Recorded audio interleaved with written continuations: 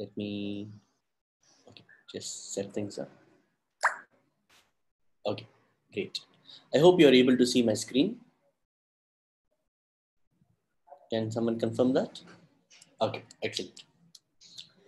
So before moving ahead, uh, let, let, me uh, quickly summarize what we did in yesterday's class. So in yesterday's class, we, we finished our uh, exploration of pandas.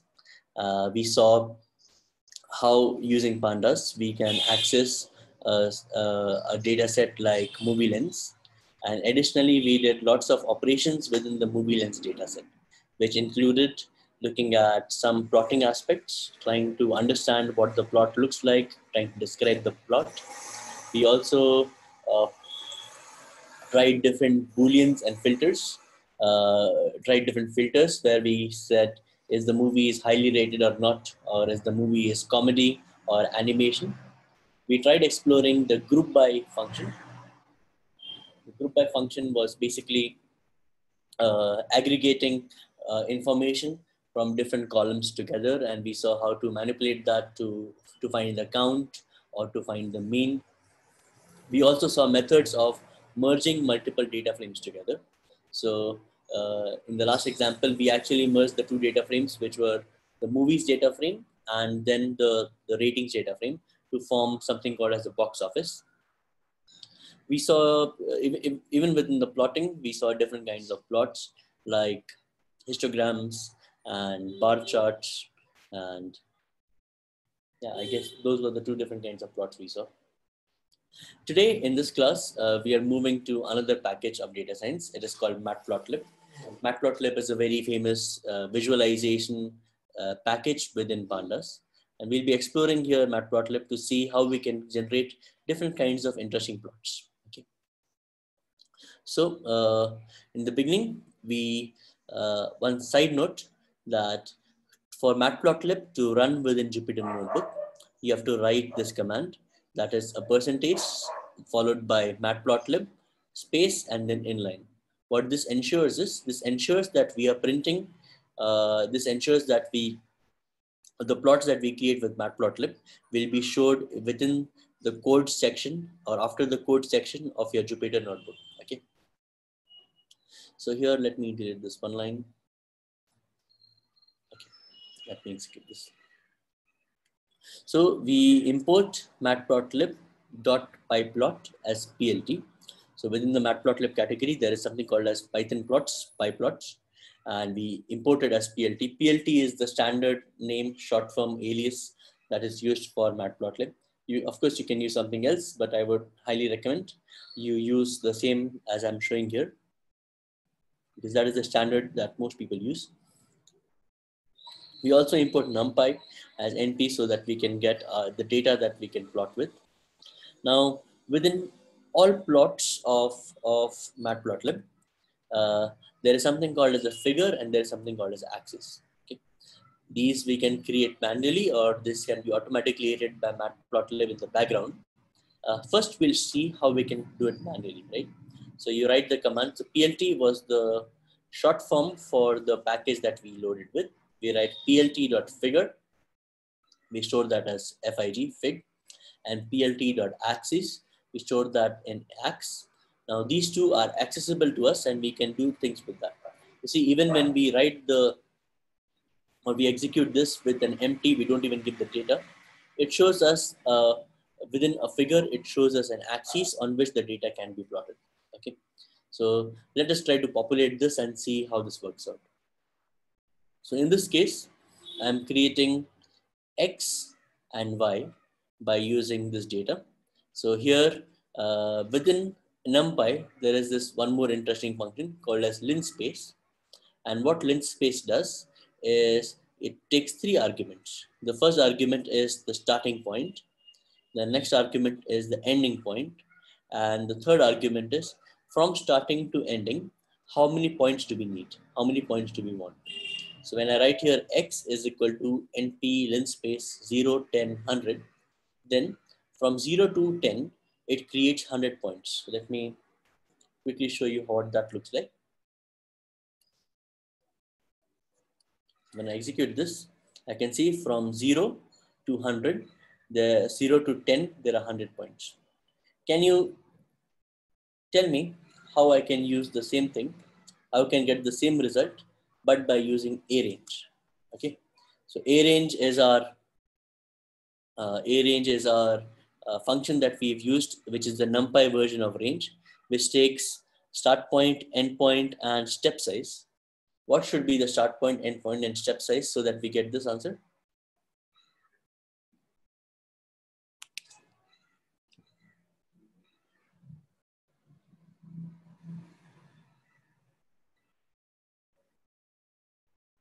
Okay, 1, 10, and 0.1. Let's try that. If you write, sorry, 0, 10, 0.1, and when we write x and execute this, we get 0 to 9.9. We don't reach till 10, that is first. And our how many how many points are these? So let me do length of x, or I can simply do x dot shape and say, okay, we are 100 points. That's fine. We are 100 points, but we are not reached the endpoint as. Uh, other option is some people are saying 11. So 11 will take you to 10.9, right? It will not take you there. So what we need to do here is, I would say, my step size should be 10 divided by 99 this will be plus 10 by 99. Okay, let me execute this one. Okay, so this gives me exactly how many points? This gives me exactly 100 points, which are from 0 to 10. Okay. So I just said that, okay, I need uh, divide that into 99 points and then additionally take one point extra from here. Okay. So that gives me my same idea as linspace. Anyways, this was just a sidetrack. Let's forget that. Here, linspace start from zero, go till 10 in 100 points. So that is our X data. That is our information on the X axis. Okay. On the Y axis, I want to plot a sine curve. So I can just say np dot sine of X. That is from NumPy. We are calling the trigonometric function sine and we are passing that x. So that is our y-axis. Earlier within this code, we wrote two things. We created the figure, we created the axis, and on these axes we are plotting. So you write ax ax dot plot, okay, ax dot plot, and you provide the two inputs. The first input is the x-axis uh, values. The second input is the y-axis values. So when I execute this, you can see that we get a we get a sine wave. So fairly simple. Uh, we also see that it creates a line plot. What's a line plot? A line plot is this thing where uh, even though we are giving individual points, what uh, matplotlib does, it, it connects those individual points uh, using a single line. Okay, that's called a line plot. And now we can see the line plot for this. Uh, if I want to see further, let's say uh, instead of 0 to 10, I want to see 0 to 20. I will just change this to 0 to 20 and I execute this. So now we see a longer time frame and since the number of points have not changed, this looks not a lot smooth. You see on the top uh, end, it's not very smooth. Let me reduce the number of points even further. Maybe let's say just 50 points and execute this. We can see now breaks definitely, right? Let me take it back to 10 and 25. So when you create with less number of points, your line plot uh, will start to get uh, what's it, uh, piecewise. That is, it will be from here to here, just connects through one piece and so on. But now we have seen how we can use a line plot. It's very simple. We write ax dot plot that is on the axis. We plot with the x and y data. Okay. Now we can do the same thing by using plt dot plot. And the advantage is when we use plt.plot, in the background, it automatically creates for us the figure and axes. Uh, sadly, we don't have access to them, but uh, this is a shorter command. You write plt.plot and you write your command, okay, x and y. I'm using the same data. Let's execute. We're getting the same answer as before. Now, we can do some more things. If I want to get multiple plots, so in this case, I'm getting two plots, PLT uh, X and sine X, X and cosine X. In fact, let me go back. Let me increase the number of points again so that we get some better plots. Okay. So we can get our sine curve, which is this blue line, and we can get a cosine curve, which is this orange line. Uh, you may see that interestingly, uh, uh, Matplotlib has done some things. It has, first we did not specify any colors to them. So Matplotlib has automatically decided that the first waveform will be blue, bluish. The second waveform will be orangish, which is very good for defaults. Of course, we can change them, but I, I think I like the defaults here so that I can know that these are actually two different curves. Uh, let's go ahead. Further, we would be interested to see how we can change the colors and how we can change the line style. So to experiment with colors, there are many ways within Matplotlib to define colors. Uh, just so that we can see all of them in one plot, and modifying the data a little bit. The first case, I'm using X as for all the plots, X is on the X axis. For y-axis, we have different terms. So when we say np numpy dot sine x minus 0, that is simply sine x. That is the first one here. Followed that is x minus 1.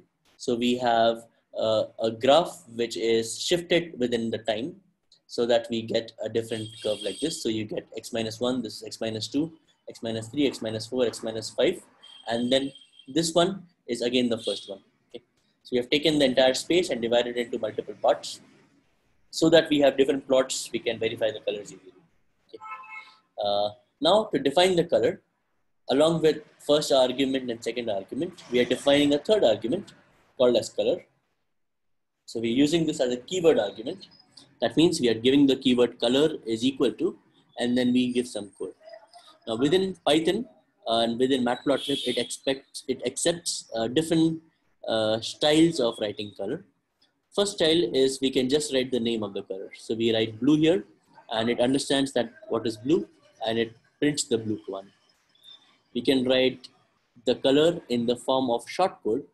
That is, the short codes can be taken from these uh, characters R, G, B, C, M, Y, K. So R stands for red, G green, B blue.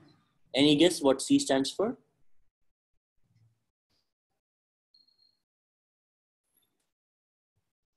Yeah, you're right. C for cyan, M for magenta, Y for yellow, and interestingly, K for black. Okay. So these are the short code colors that we have. So G is green. Let me try cyan. If I write C for cyan, change, you can see the second curve has changed its color to cyan. Let me show you magenta. This is magenta. And then let me show you K for black. So we can change the color by using the short code. We can give long code. So here, instead of blue, if I go for something like uh, red, can see it has changed to red. Let me change back to the old ones. This was blue, this was green. That's the first two ways of defining colors. The third way is we can actually give a grayscale number between 0 and 1. Okay, so 0.5 will be gray, let me show you what zero does. If you put zero and execute, you can see the third line. Zero means full black. In that context, one would mean full white. So when I execute that, you see, there is this, you can just see the breaks, so you cannot see the curve. This is the white plot because a background is also white. And anywhere in between, let's say 0.7, will be more towards white, less towards gray. 0.2 would be more towards black, less towards white, and so on. So we can control the intensity of grayscale by using these numbers between 0 to 1. The fourth way is writing the hex code for the color. Hex code for the color is basically uh, uh, we are defining R, component of R, component of G, and component of B for defining the color. So this gives us lot many more options. So, so far we have seen blue limited limited options of colors again limited options of colors uh, this intensity only within grayscale. But now we are exploring that we can come to actually infinite combinations of, not infinite, but a very large combination of colors here. So in fact, I think I had, a, let me quickly check. Hmm. So I have a, an extension on my browser, the color picker. I hope you're able to see this. So as I take my as I take my mouse pointer to different sections of the code, uh, you can see that it has a, a hash uh, uh, and within the text box, it gives me the, the hex code for the color, right? So right now I'm pointing in a white section. So it is showing all FFFF, which means that I'm looking at the color white. Let me show you if I take it to this bluish color, it gives me the hex code as 3B40FF. So what this means is I have 3B percentage. So 3B is the hex number, which translates to 59. So as given down, that is from 0 to 255, 59 component of red, 40 stands for 64 component of green, and FF, which is uh, uh, uh, 255 component of blue. So the first two characters hex stands for red component, second two characters for green component, and next two for blue component. Okay, so this is what I'm trying to explain. What is hex code? So hex code is uh, a number system in which uh, your your base is of 16 digits. So let's say we use the decimal system. So decimal system, your base is of 10 digits. The 10 digits we use is 0 to 9, 0, 1, 2, 3, 4, 5, 6, 7, 8, 9. In a hexadecimal number system, your base is 16. So we use 16 different characters or 16 different uh, values to represent a number. The 16 values are 0, 1, 2, 3, 4, 5, 6, 7, 8, 9. That is our normal like decimal. The 10th value is A, 11th is B, 12th is C, uh, 13th is D, 14th is E, and 15th is uh, F. So that is 0 to F, you have 16 different characters. That is a hexadecimal system. So here, as you see, as I move my mouse pointer to different sections, I can see different combinations of hexadecimal. So here, yes, it says we can create, yes. So basically here now you can create uh, like so many different combinations of color that you want. Let me show you a few. So let's say this is the fourth graph. This is the yellowish color that I'm trying to plot. So here I'm saying FF component of red, DD component of green and BB component of blue. Let's say within this, I want to increase the bluish shade. I take it to some uh, high number like say F0. And when I execute this, okay, RGB F0. Let me make it full FF. So actually there is full red also. So red and this much blue is making this pinkish shade. Let me reduce the value of red to zero. Okay, you see that now we have gone to a bluish shade. This looks more greenish also because we have DD component of green. If I reduce this DD component of green to maybe 10, I will have low component of green, more of blue. So this looks bluish. Okay. So these are different ways where you can define color. In fact, let me show you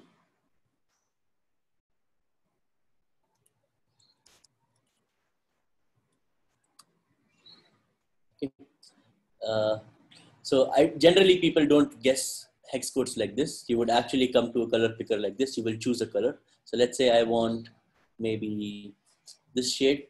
I can move this pointer to maybe, let's say this is the color that I want.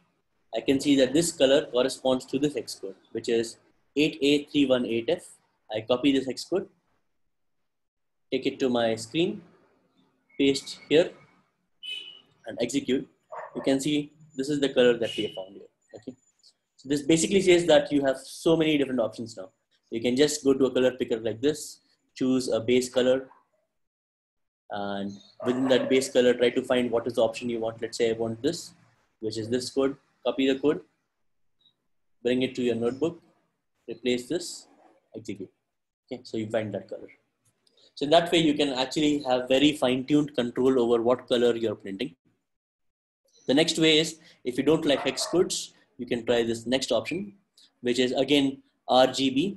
So the first year we are now we are passing a tuple of three values. The first value corresponds to R, next to G, next to B, which stands for red, green, and blue. And we can give a number between zero and one that represents how much percentage we want. Okay. So here we have 100% of red, 20% uh, of green, and 30% of 30% uh, of blue, okay, which gives us this red color because we have 100% of red. That is again another way of defining color. And finally, we can use all HTML color names supported. So if you are a programmer, uh, uh a web developer who uses HTML, CSS and stuff like that, you may be more familiar with these words where you can directly choose the name of a color. So here we have something like chart reuse, which gives this fluorescent kind of color. So several ways of defining colors. I generally uh, use either the first one or the second one because most of my plots are done within this. In fact, when we go to Seaborn, uh, we'll see a totally different way of defining colors, which is more interesting and that reduces our task, uh, uh, makes our task a little bit more easier. Let's go down. Along with color, we can also change the line style. So here for the data, I'm using X uh, and X itself, but the second X here, on the X axis, we have all same components. Plus on the Y axis, I'm just using X plus zero, X plus one, X plus two. That will give us this shifted curves, okay? So this is the first line, which is here X and X plus zero, which is uh, as, as X increases, this uh, Y also is the same increase X. So we go to 0 to 10 here and we go to 0 to 10 here for the first line. Okay. So the first line, we are saying that we want a line style of solid.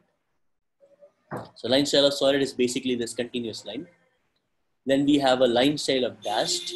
You see the second orange one. This is having a dashed line style. So first you should also notice that we are not defining any colors here. Uh, what Matplotlib is doing is automatically changing the colors based on an internal format. So that is, these will be the colors that will automatically happen as you uh, continue to uh, write, plot separate things into this code. Okay. So we see dash, sorry, solid, we dashed, we saw dash, then there is dash dot, which gives you this dash dot kind of patterns, followed by dotted. So here this red line is all dotted. Now, instead of writing text like this, we can also use short quotes so if you write a simple hyphen, that simple hyphen stands for solid. If you write two hyphens, that stands for dashed. If you write a hyphen and a period, hyphen and a dot, that gives you this dash dot. And then when you write a colon like this, you get dotted. Okay. Several ways of controlling line style, several ways of controlling color. And of course, we can combine the two together. So this is a combination of solid green. So you have a single hyphen and G, which stands for green. That is why we got this plot.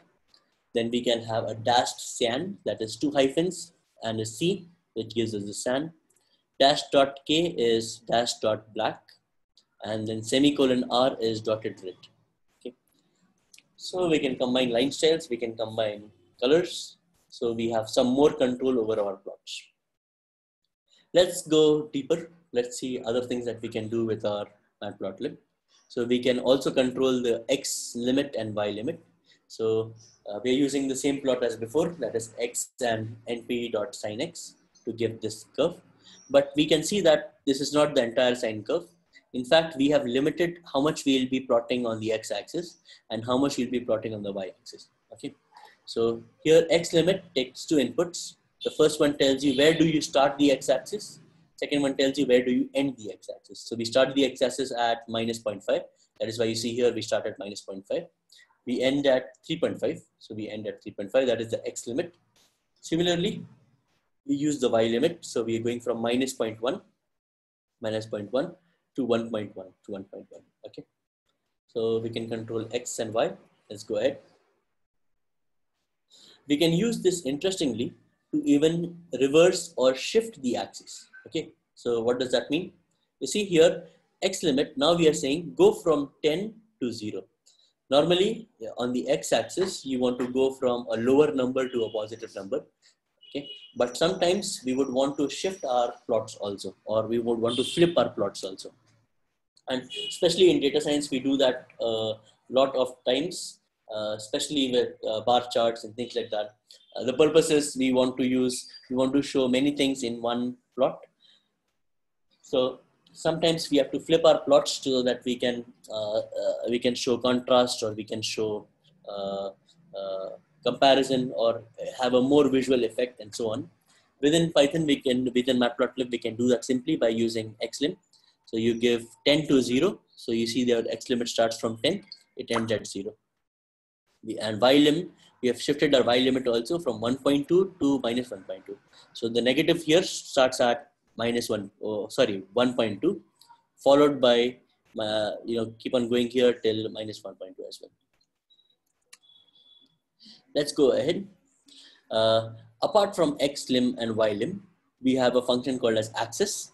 And to this axis, we can provide a, a list of items. And these lists are basically this, x min x max y min y max So in one go, you can define the limits on your x-axis and your y-axis. So here we are saying start from, on the x-axis, start from minus 1 and go till 11. So here we start from minus 1 and go till 11. And similarly, uh, on the y-axis, we are saying start from minus 1.5 and go till 1.5. We start from minus 1.5 and go till 1.5. Okay. In axis, apart from lists, we can also give words. Okay, and these words have inbuilt meanings within within uh, Matplotlib. So we can give the word tight.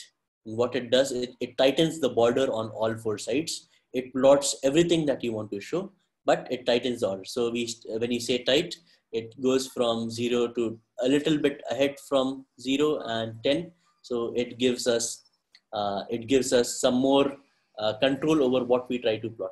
Okay. Okay, please go slow. sure, I, I'll try to go slow. Okay. So uh, you're unable to type. Why are you typing? I, you should just view this and uh, I have already provided this. I have already provided the notebooks. Okay, you can practice on your own time, so that I can complete my class. You can practice on the notebook uh, later on. We don't have to slow down here because these are really simple things. Okay, so here we are saying uh, using the plt.axis and tight. Okay, so that gives us a tighter layout. Let me show other things. Apart from tight, we can use something like equal. And what equal does is it uses the same scaling on the x-axis and the same scaling on the y-axis. Okay, so what do I mean by that? So uh, let's look at this example. Okay, so here uh, we are plotting 10 units of those 10 units, uh, let's say this much is two units, okay, zero to two. Zero to two is this much size. Similarly, you could see that minus one to one, which covers our plot is also of two units, okay. So axis equal ensures that your x-axis scaling and your y-axis scaling is the same, okay. And there may be some advantages or depending upon our use case, that would be something that we want to do and we can follow something like that. Let's go ahead. So we saw how to control our plots. We can also label our plots. So many of times without the label, it becomes difficult to understand. So we can provide. So here we are showing an, I'm showing an example when I'm plotting the same curve as before, the n, the x and np dot sine x. And now we can control the title. So I'm writing the title here, which is a sine curve, which gets printed. We can write the x label, which is x comes on the bottom here. We can write a y label which comes here and we can also see the y label is uh, they have pyplot, pyplot autom matplotlib automatically uh, tilts your y axis so that it looks more natural. So that way we can control title, x label, y label. Let's go ahead. Uh, additionally, we would want to give a legend sometimes. Okay, so a legend is basically this small chart which tells us which gives us a demo of the plot style here and it gives us it provides a name so to do something like that we have to start with when we are defining the plot, that is in this case, we are defining the plot x sine x with a solid green, we have to define the label that you would want to come in the legend. So here we're defining the label as sine x. For the second plot, we're defining the label as cos x. And after you finish plotting, you have to write the command plt.legend.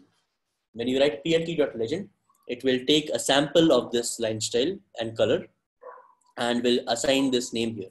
So when I execute this, you can do this. I can also change, this can be any string that you want, okay? I can have curve one and curve two as well, and that will also work fine. Okay, so we execute this, we have curve one and curve two showing here. So this could represent uh, so many things and it makes your chart more easier or uh, readable uh, for your users. Let's go ahead. Now we saw uh, PLT was one way of accessing stuff and ax as another way of accessing stuff. So earlier in the uh, initial part, I showed you that uh, we can create a figure and an axis and we can plot using ax.plot. And the shortcut was not using ax, but directly using PLT. Sometimes we would want to use ax as well. And in those cases, we should remember or we should see that there are certain uh, uh, options which are have changed. Okay, that is for x label we would use plt.x label, uh, but when you're using the ax command, you would use ax.set underscore x label. And this would do the corresponding task of setting the label here. Let me show you a few examples. Here I'm creating an axis by writing plt.axis, that is your ax here. ax.plot will plot a line plot with x and uh, y data as np.sin x. And now uh, I am trying to use the set command to set multiple options here. Okay. So maybe first let me show you a case where this is our base plot. So let me execute this. This is a base plot. Now, if I want to add the X label, if I write ax dot x label, it will give me an error as we just saw. It says that this ax subplot object has no attribute X label. So instead of X label, we have to use set X label. So I can write set underscore X label and execute this. That gives me this X label here. I could use for Y label, I could use set Y label as sine of X and set title as a sine curve. Okay, so those would be the corresponding ways of doing things in ax mode. Additionally, uh, ax has or this uh, axis plot has a function called as set, which will allow us to do multiple things in one go. So you can write ax ax dot set. you can write xlim. So we're saying, okay, my x limit should go from 0 to 10. Y lim, it should go from minus 2 to 2. X label should be x, Y label should be sin x, and title is simple plot. So the set command helps us to do multiple things in one go. So we have seen simple plots, uh, sorry, we have seen line plots and we have seen several ways of controlling our plots. Let's go a bit deeper. Another kind of plot is something called as scatter plots. Okay, and scatter plots are basically not uh, like line plots. What it will do is it will take your individual data points and connect them together. Whereas scatter plots would keep them separate. Okay, each data point looks like a separate point on the plot. It does not join. Now there are several ways of creating scatter plots. We are first seeing a way where we can use the same command as before, the plot function. We saw that the plot function was used for line plots. Now we are saying that the plot function can also be used for scatter plots by making a small twist. The twist is uh, the plotting style will provide an object. Okay, so let me show you an example. Here I'm creating uh, x-axis, which is saying go from 0 to 10, but instead of 100 points, just keep 30 points so that we can see these points separately. So using 30 points, we'll create our x-axis. Y-axis is the same as before, that is sine x. Now, when we plot this, we are using a notation like this, O. So when you use O, what it does, it, it fills with this filled circles and the color of these circles is black. If you want to change the color, I can take it to red. This. If I want to change the style, instead of a O, I can use plus, and now I have these cross marks here. Okay. So depending on what we want, we can plot this. So the next logical question would be, how many of these objects are there and what all things can be put here. For this, let me show you this example. Uh, in this example, what I'm doing is I'm randomly generating some data and plotting it randomly, giving an x coordinate, a y coordinate, and choosing uh, five points for each data. And for each five points, I'm providing some marker here. Okay. The purpose is to see what are the different types of objects we can use for scatter plots. Okay. So uh, np dot random dot random state zero is my random number generator RNG, and I'm creating a figure of fig size 10 comma 5 so that is 10 units on the x-axis 5 units on the y-axis. So this is just units means how the shop will uh, how the plot will be shaped not the values on the plot okay? So that's why you can see this is a rectangular more horizontal and half of that is vertical. I'm writing a for loop for each of these points okay so for marker in these points i'm using an o dot comma x plus v hat less than greater than S and SND. Okay, these are the markers that I'm going for. For each marker, write this command. So this command is basically a plot. It says random from my random number generator, create random five points for the x-axis, create random five points for the y-axis. My marker will come from the for loop marker here. And I'm also writing a label that will help me to generate uh, this part here when we generate this part, then we can do plt.legend and we'll get the plot. here. Okay. So for the label, we are using a string maker or, or a dynamically generated string which says marker is equal to and this part. Okay. So what this part basically means that this is this is a dynamic value which has to be changed from what we put here in the marker. So to the string, when we do a dot format and you write marker, so this is the zero, the first input. So in Python, first is basically index zero. The index zero element will be printed up here. Okay, that is what this means. So once we execute this, you can see that I have several plots, uh, several scattered points, and we have examples of O. So O gives you a marker like this, a filled circle. Uh, dot gives you this one, so a smaller one. A comma gives you an even smaller dot x gives you this cross plus plus, v gives you this lower triangle, lower pointing triangle, up gives you this upper pointing triangle, uh, less than, sorry, no, this is not up, this is hat. Okay, this hat is available on top of your uh, number six. So when you press shift and six, you will get this symbol. Then we have less than greater than, which makes your left pointing and right pointing triangle. S gives you a square. D gives you a diamond shape. Okay. So those are the objects. There are many more, but I'm limiting it to this. And so that we see all these points here. We can also combine scatter plots and line plots. So here uh, for the same X and Y, okay, let me execute this. For X and Y, I'm giving this line style. So what is this line style? This is saying first dash stands for solid, O stands for the marker, and K stands for the color, black. So that is why we get a, we get a solid line. And at our points, we also have uh, these markers dots. And all of this is in the, in the color K. Okay. Now we would be interested to see, can I control the different aspects of this line and the different aspects of this marker? So I'm using the same X and Y, but now I'm using a dash and a P. What is a dash and a P? So dash stands for this line P stands for, okay, you're right. I got uh, in a comment, pentagon. Excellent. P stands for pentagon. Okay. Now, these are the different parameters. We can control everything. So when you say color G, this G gives the green color to the line. Okay. If I want to make it, let's say blue, I will write B and execute. You can see that our color of the line has changed to blue. Then things with marker, right? So I can change the marker. Marker size 10 gives me this big pentagons. I can make the marker size smaller. Let's say I put marker size 5 and execute. I can see now that I have a smaller marker size. Let me make it 20. You will get a bigger marker size. Let me take it back to 10. Okay. So by controlling marker size, we can control marker size, of course.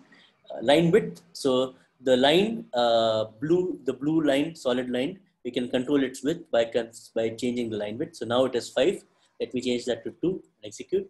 You can see this line has become much thinner. You can control the marker face color. So this marker face color, you see the inside color within the marker that is blue here. We can change that to a different color. So let me change that to maybe red. And you can see that the inside color, the face color of the marker has changed to red. We can control the marker edge color. So right now it is orange. Edge color, let me change that to maybe green. So the edge color has become green. We can also change the marker edge width. So now this is very thick, it is five. Let me change that to two. You can see that the edge becomes smaller. So here, uh, interestingly, we can control many different aspects of our plot by using this. Uh, what happens when we change to white? It will become white. But sadly, or interestingly, since our background is also white, we will not be able to see much. Let me change the marker face color to white. So instead of red, I put a white here and execute. You can see that the inside color has become white. Okay. But if you change the line color to white, is W for white? I'm not sure. Yes. Then, uh, you know, it is as good as not plotting a line, especially with the background as white. If you change your background to a different color, which we can change, but let me talk about that later on. If you change your background color to black or a darker color, then you can see white over it. So let me change this to blue. Uh, let me change this white to red again. Okay. So we can control several aspects of these plots. Uh, the, the interesting thing is you can see as we change one value, all of the different points follow the same follow the same strategy. So when you put marker size of 10, all these markers, all these different points will all have the size 10, which is fine for tasks like this. But sometimes we would want that we could control each and every point. Okay. So for that, uh, we will go to a different kind of plot. So right now we were using the line plot and using the line plot, we are getting a scatter plot, but we have a special function called as a scatter, which is more tuned to what we want here. So here I'm just using the same data, plt.scatter. Instead of plot, I've changed the function to scatter. I'm providing x, y, and marker. So when I execute this, we get x, y, and o. Let's go down. And here I'm showing you a different example where I have a random number generator, RNG. To this random number generator, I'm creating X and Y. So I'm creating normally distributed 10 points for the x-axis, normally distributed 10 points for the y-axis. I have defined a variable called as colors, which I am also generating randomly generated 10 points. And I have a variable called sizes, which I'm saying randomly generate 10 points multiplied by 1000 so that I get bigger sizes. And now I'm calling this command plt.scatter. Okay, let me erase this. I'm calling this command plt.scatter.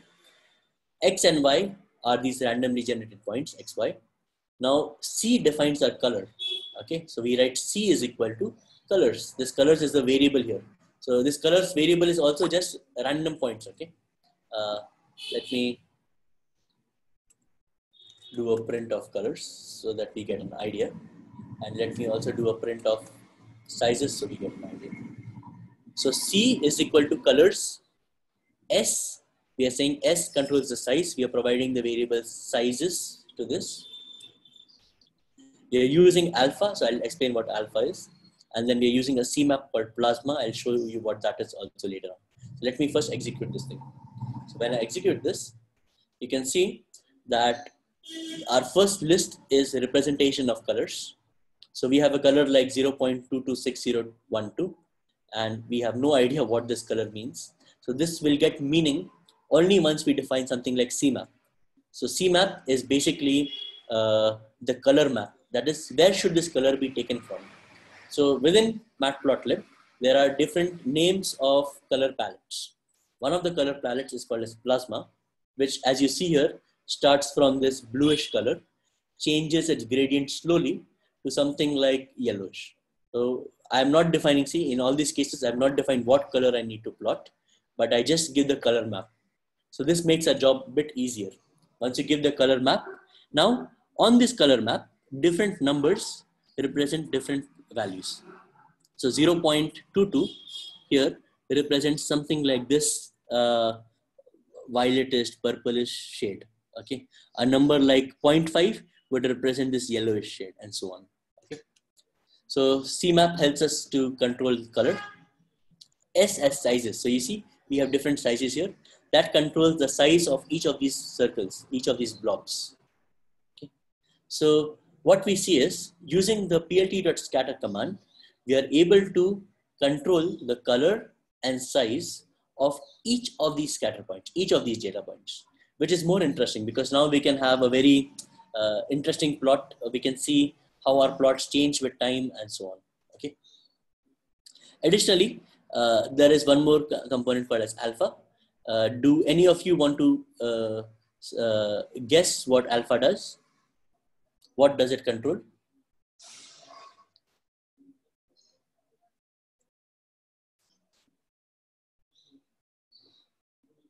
Okay, let, let me go on. Color thickness, plasma scale numbers, uh, no. So I'll tell you what alpha does. So alpha controls something called as transparency. Okay, so you see here, I have an overlap between these two plots. And even though there is an overlap, I can see the underlying plot. I can see that uh, this is over, this is under, and I can see uh, some shade of what is happening behind. Okay, it controls transparency. So let me change different values of alpha and show you. If I change alpha to zero and I execute, you can see that everything has become fully transparent. So I'm able to see the background. I cannot see the dot. I cannot see the plot at all.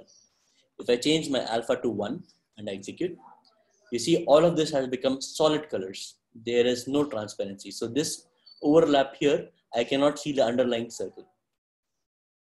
If I change it to some number in between, let's say 0.7, 0.7 is more towards solid, less towards transparency. 0.5 is somewhere in between. Okay, so 50% transparency. It also gives me this this light shade of color, which I think some people like. I like as well.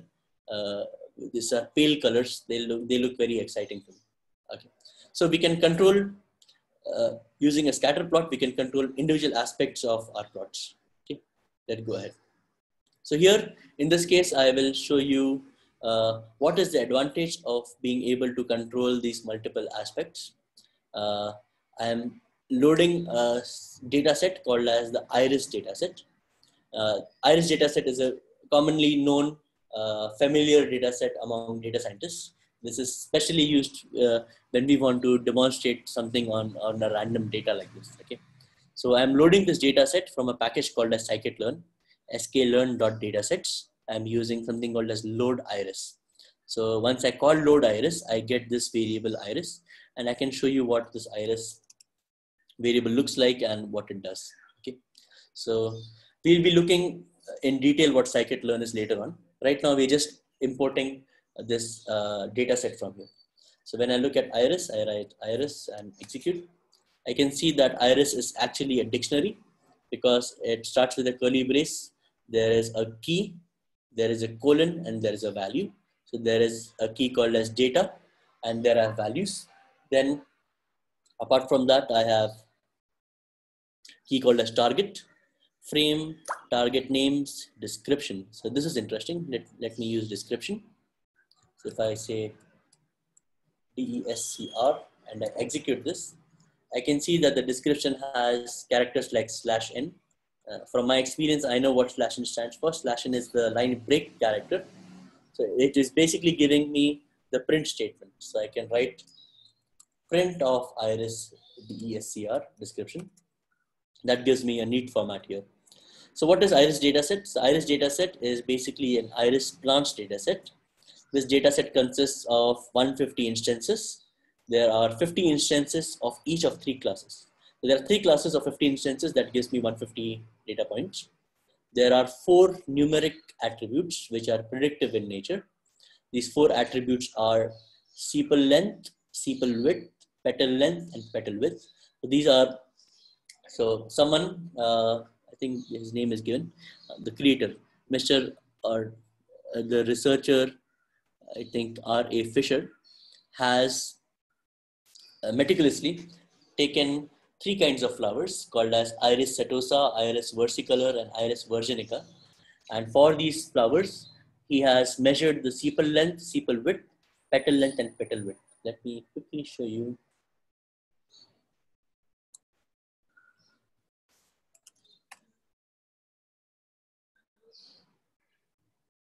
Okay. I hope you are able to let me try to expand this.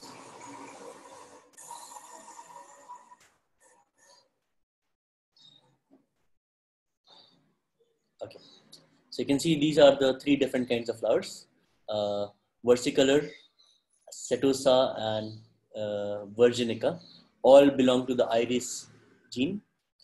This is a sepal, this is a petal, and what that guy has done is he has measured the sepal width and sepal length, petal width and petal length for 50 of these versicolor flowers, 50 of setosa, and 50 of virginica.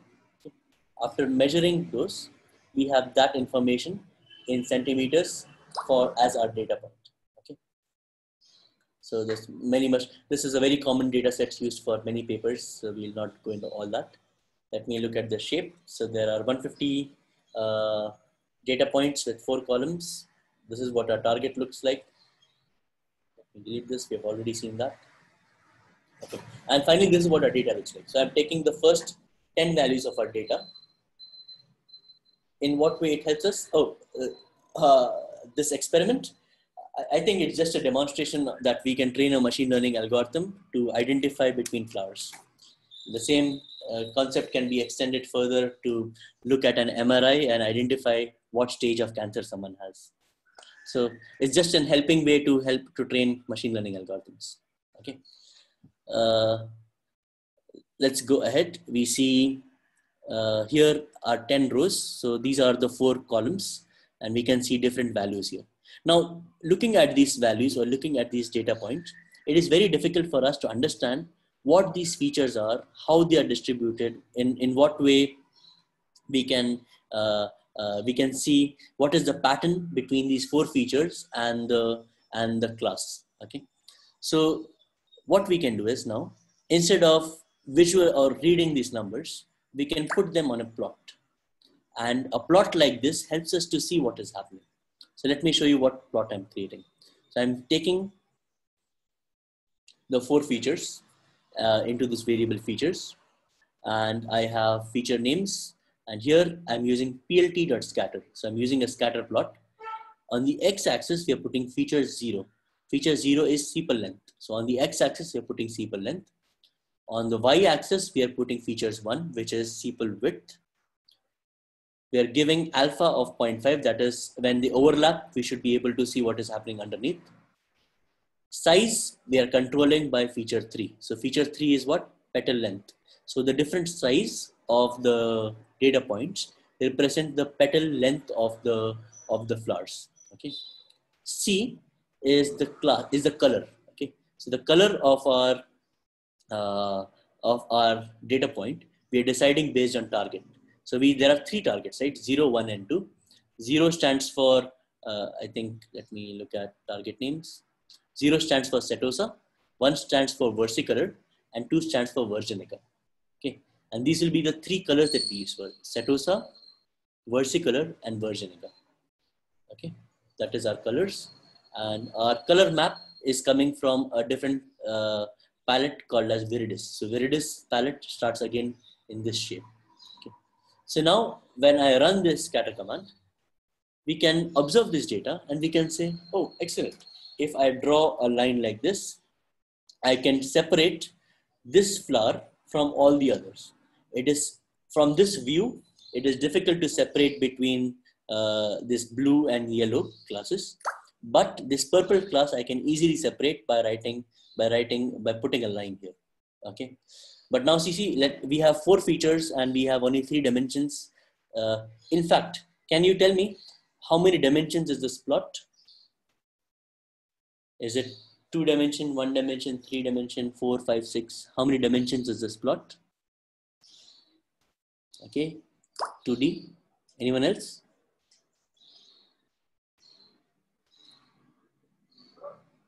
Three D. Okay. 2D. Okay. So many people 2D, many people 3D. Uh, I have not got the right answer yet. Okay. Let me tell you. Yes. Now, excellent. Dell. Okay. So someone named Dell and Manasa now, they are writing the line. So this is a four dimensional plot. Okay. So interestingly, normally people would say two dimensions because I have an X coordinate, I have a Y coordinate. These are four dimensions because we, have X axis, Y axis. We have color, which is the third dimension and we have size, which is the fourth dimension. Okay. So x axis, y axis, color and size. Using these four values, we are using four dimensions to plot this form data. Okay. Now, one thing with data sciences, uh, uh, we generally struggle with visualizing things in higher dimensions. So this color and size helps us to see more things. Okay. Let me change. Uh, we have not used feature four. Let me put feature four on the x-axis. So when I put feature four on the x-axis and I execute, so, okay, sorry, feature four will be uh, three, so zero, one, two. We've not used two. Let me write two and execute. So now we can see in a different frame. So if on the x-axis, I put petal length instead of sepal length, I can see a more, a more prominent uh, display. This line can separate this one. I can draw a line like here, which will work out very well it may not be 100% accurate, but it will be accurate maybe 80 or 90% of the time. So we can do that only because we are able to visualize this data. Okay, and uh, uh data science requires a lot of interesting visualizations. Visualizations help us to see how how uh, our data is distributed, what we can do interestingly with our data. Let me show you one amazing visualization. Okay, which I think is very relevant in these times. So most of us are following how COVID is increasing. So you see this map here. This is a lovely representation. Okay, uh, the on the coordinates we have the map of India, and then we have different sizes of circles. The different size of the x coordinate, y coordinate of the circle so shows the place where it has where we are trying to measure what has happened, and the size of the circle gives us an idea of uh, the number of people infected. You see that all of these circles also have an alpha value because of which we are able to go down and we are able to see uh, we are able to see that within a bigger space smaller spaces how things are affected. Okay. So a very interesting visualization uh, and uh, we use data science for getting this stuff right even these plots you see these visualizations these are line plots and uh, this is this is actually a, a, a well formed dashboard uh, that helps us to see in live how things are happening.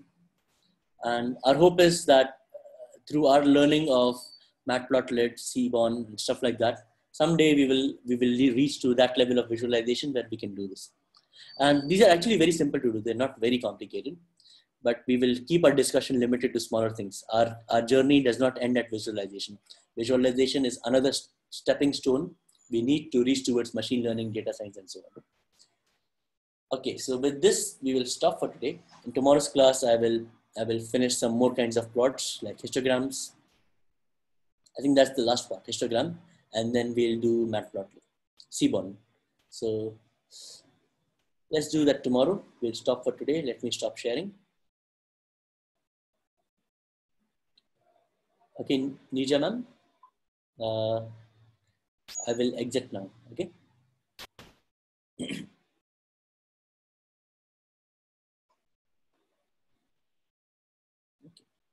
Thank you so much for attending these sessions. Okay. And thank you for replying on the chat. It, it, it, it makes the session more lively. It is very difficult to, to teach a, a computer screen. At least the chat gives me one way of understanding you guys are listening or not, and if you are following or not. Thank you so much. Okay. Bye-bye.